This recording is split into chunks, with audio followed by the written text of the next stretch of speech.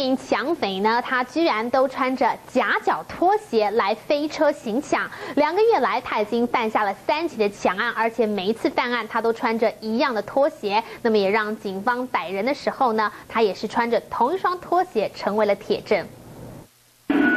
监视器画面，男性抢匪骑乘机车尾随一名骑单车的妇女，一到路口超车抢夺皮包。男性抢匪接着把车骑进了巷子里头停好，变成另外一台机车扬长而去。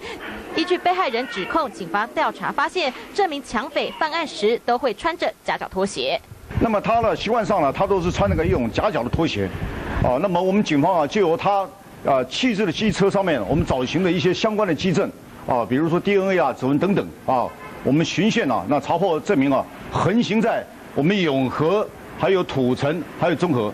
那么目前呢，我们呢已经查获到他至少涉及啊五件的抢夺案件。警方问抢匪为何每次作案都要穿着同一双鞋，没想到他竟然回答：“我很喜欢这双鞋。”就他是他特别喜好这双鞋子的原因呢，就是它特别的舒适，而且它还有具有排汗的功能。所以他在作案以后啊，他的衣物啊换装啊换装以后，他这双鞋子啊他还没有呃把它更换掉，所以啊就让我们呢从这个特征呢可以比对出来。